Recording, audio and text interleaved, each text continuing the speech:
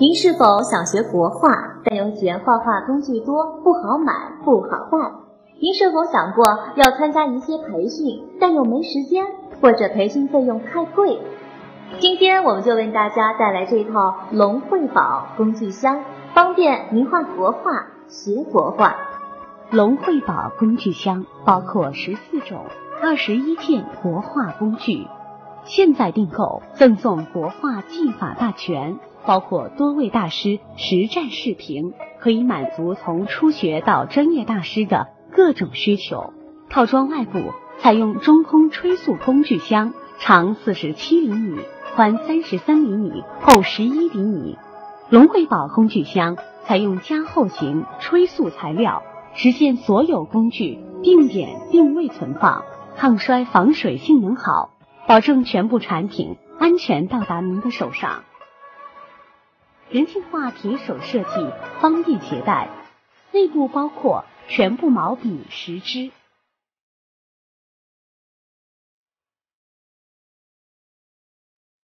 其中一二三号提斗笔各一支，大中小白银各一支，花枝俏两支，小一文两支，基本可以满足各种情况下作画的要求。螺纹砚一个，青花小笔洗一个，笔连一个，笔筒一个，墨汁一瓶，刻花正尺大码两片套，七座的笔架一个，书画毡、调色板各一个，整套产品齐全，整体重量约四点五公斤，是国画爱好者的首选套装。随工具箱，我们会赠送国画技法大全。移动硬盘版教程一套，全套教程至目前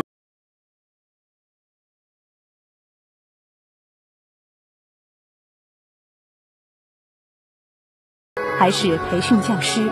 本套教程都是不可多得的提升必备教材，里面详细的为大家展现了各种国画的技艺技法。全套教材以视频为主，总时长超过五千分钟。分为人物画、花鸟画、山水画三大类，每一类中又各分为工笔和写意画两小类。无论您是才入门还是精通国画，这套龙绘宝一定可以让您享受国画带来的无穷乐趣。请登录龙绘宝网站三 w 点六六 a 九点 com。或拨打四零零零二五零二四五订购吧。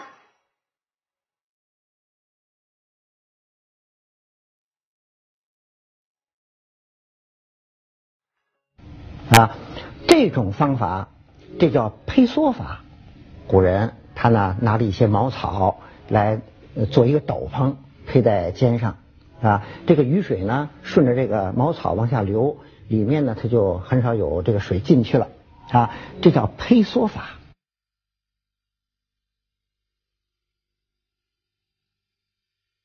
我们用的是中分，然后我再调浓墨。这是羽毛，羽毛为什么用浓墨？它显得呀有力量。这是一排，然后我们在这啊再画。大家在画它的时候啊，一定要注意，不要画太规矩，过于认真就不潇洒。这边啊，翅膀，哎，露出一个侧面。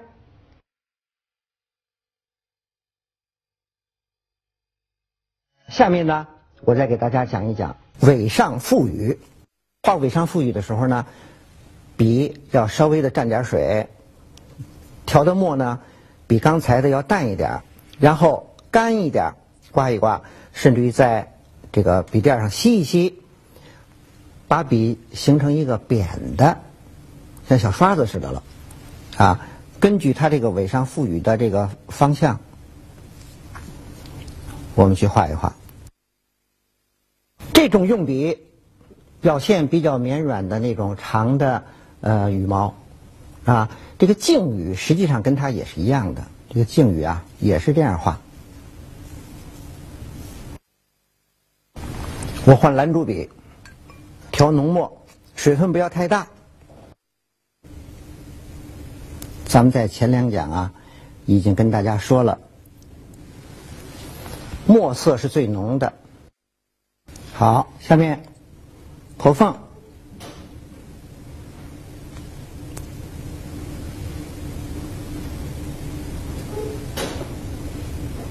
耳，这三条线的关系是这样的啊，我再重画一下。第一条线长，第二条线往高里去，第三条线啊这样，最长这靠中，这是最短，在尖儿这点儿，这第三条线不要从尖儿那儿跟它一一起出来，出的地方应该往后稍微错一点。今天所用的颜色。朱砂、曙红、胭脂，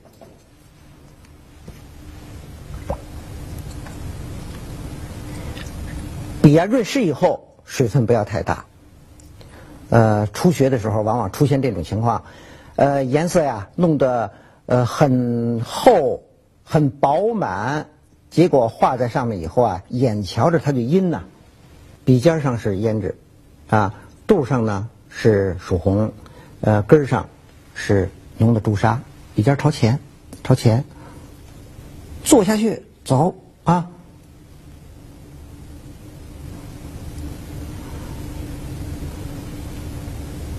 这儿压下去，远处那个能看见一点儿就看一点儿，看不着也就算。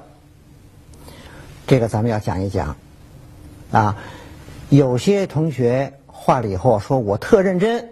我最反对那种啊，盲目认真，啊，画这机关的啊，画机关的。说一个齿儿、两个齿儿、三个齿儿、四个齿儿、五个齿儿，说老师您看我画的多好啊，这齿儿都特匀，这是错误，应该像火焰一样跳起来，然后有大有小，距离也有远有近，是吧？自然活泼。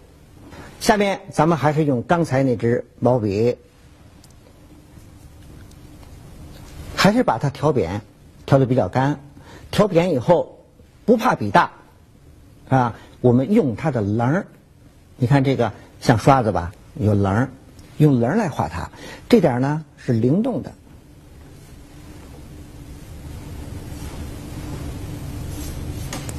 行了，那下面呢，咱们再看啊，我把它加点水，加点水，调。调中等墨色，然后我尖上再来点浓的，啊，我侧锋从这儿啊，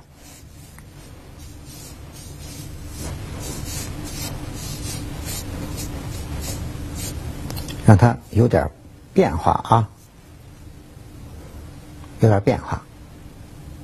它都从这个尾巴根儿那儿出来，但是出来以后呢，有长有短啊。呃，这个墨色呢，也不能说整个都调匀了再画啊，尖上深，这个笔根上呢稍微浅一点啊，这样呢，它就画的很自然了。公鸡雄健呢，啊，它这个尾巴上能够表现出来啊。如果这点还可以适当的在画完以后干的擦一擦啊，两个衔接它就更好了。然后我再调点水，还是中等墨色。然后尖上调点浓的，该画胸脯了。这个由胸脯到腹部，它是有变化的，不能够说呃一样的墨色下来啊。胸部是应该强调的，攻击啊。好，跟他接上，然后走走的时候注意什么呢？直点啊，直一点。到这以后，大腿儿。然后后面又出现他的臀部，啊，然后那边的大腿儿比较虚。下面呢，我们画这个脚，我们可以拿花青加点墨，画轻加墨，调好以后水分不要太大，啊，可以用两笔这种方式去画。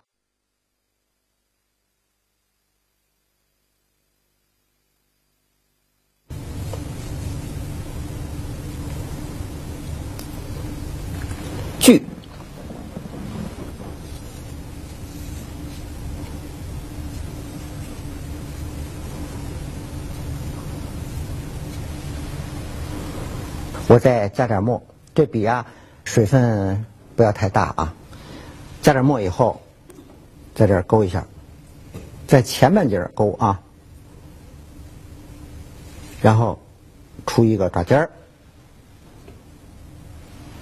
这有个爪尖儿，这是在上面，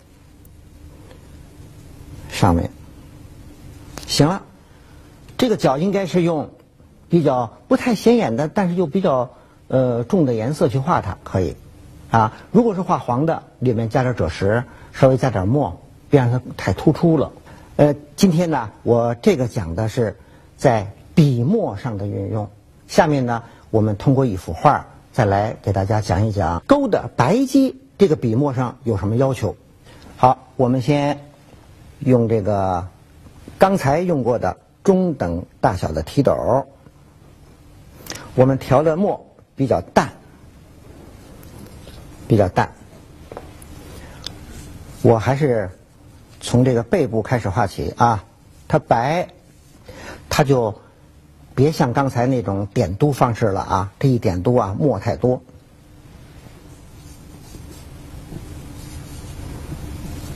肩膀，这是第一排啊，第二排羽毛，然后远处的羽毛。啊，这点是很干的，啊，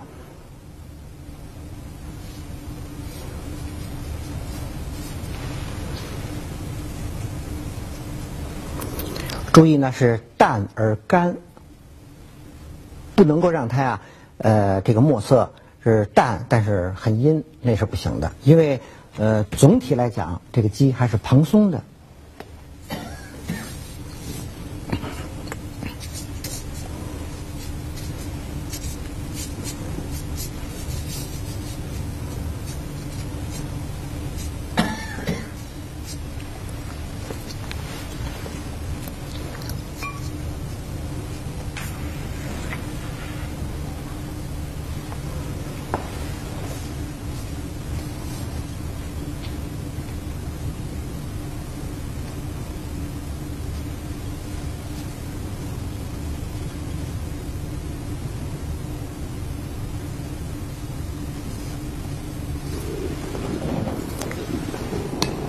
鸡头突出，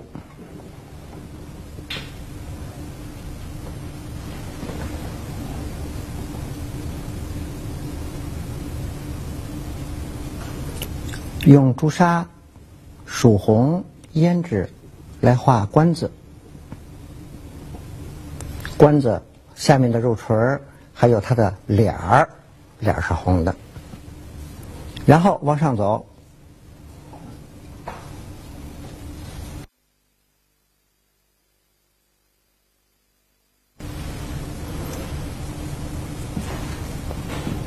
我们在这张画上啊，用两种衬托方式啊，呃，一种叫物衬，一种是反衬。物衬呢是有具体的形儿，有一种东西在衬它。这东西什么都行，你说是花卉也行，就是鸡、石头等等这些都可以。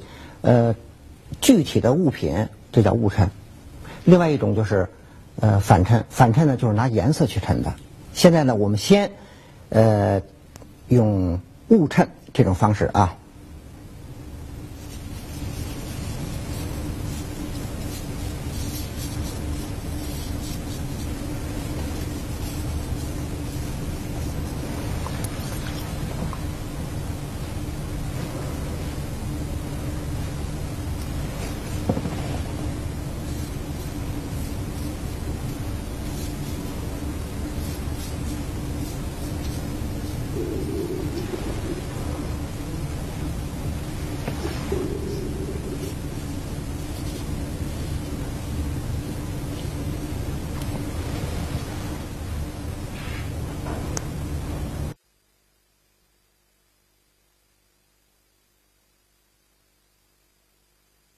这个鸡头在这儿，啊，跟它平的这条线上，尽量不要再出现第二个鸡头。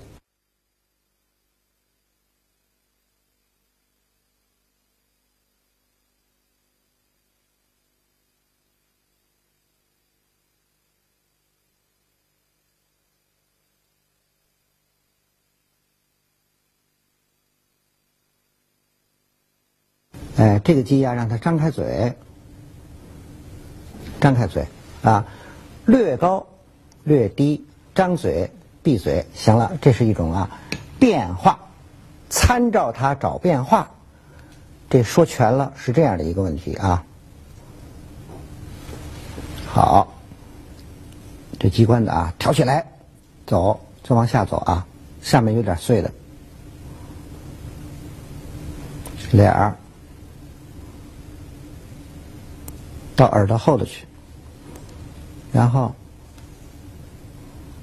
这个锤儿啊，锤儿加点水，刚才说了，画这个静语的时候不要太浓。你看这样啊，蓬松啊，这儿接上，接上以后，用棱儿啊，用棱儿，用它的棱儿，这一接就行了啊。下边我再加点水，下面不需要蓬松了，这儿啊，笔尖上浓墨点下去，点下去，走。走，走到这儿，注意这形啊！我拿笔根在找它啊。为什么不拿笔尖找啊？笔尖的颜色太深了，别让它阴的太厉害，阴进去破坏这个白肌，这就不好了。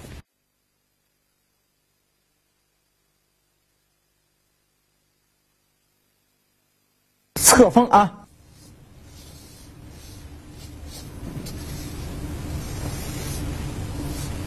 有些干笔在里头啊，浓淡干湿，让它自然的去表现。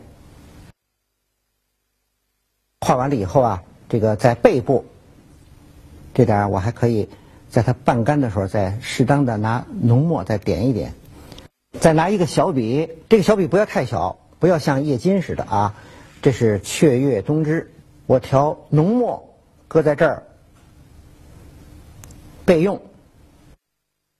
我用大蓝竹或者是大白云，调好了中等墨色，尖上来点浓的，行。我的手里面呢，一定要拿一个笔垫啊！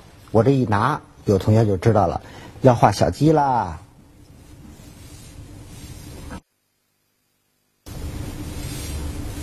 墨色变化啊，加水了，让它毛茸茸的阴出来一点儿，哎，控制。都集中在中间了，啊，这个鸡也在上。